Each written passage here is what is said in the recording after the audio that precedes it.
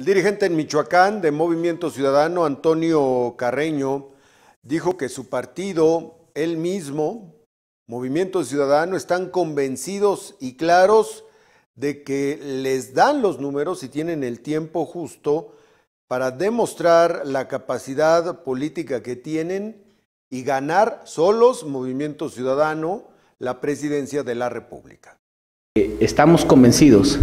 de que claro que nos dan los números, de que tenemos tiempo justo, está justo, los tiempos se nos vienen, pero tenemos todavía un año